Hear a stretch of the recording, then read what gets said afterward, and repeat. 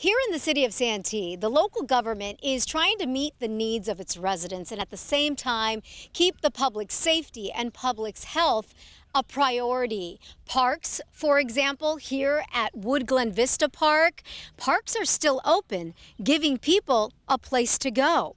People like Kalisha Hayward, a mom of three. She tells me she's trying to incorporate a trip to the park with her kids every day since she has her kids at home. She's like so many other parents who are trying to figure out a schedule, a routine for the kids. In addition to all of the schoolwork that they're doing, she says the kids need to be outside at least for a little while. She says it's tough, but she is grateful that right now the parks are open.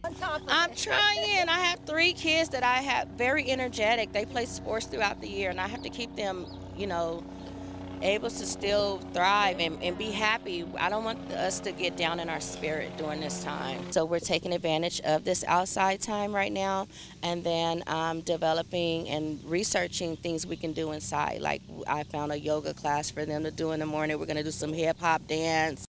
Our first concern is the public safety and public health. We also have to consider, though, that if people are being sequestered in their homes, that they're going to get cabin fever at some point. So we want to make sure that they have a place to go recreate. That's why the parks are open at this time. If we find out that something's going wrong or we start having some kind of issue where we get reported cases and, and whatnot, we're going to probably close them. We don't, we don't want to do that. Things are changing so rapidly, though. That's one reason why uh, we're probably, uh, maybe this week, going to oper- declare our own state of emergency.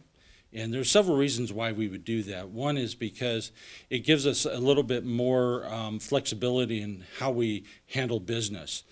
The mayor tells me park employees will be out monitoring the parks, making sure large gatherings aren't happening, and also sanitizing the playground equipment. In Santee, Elizabeth Alvarez, KUSI News.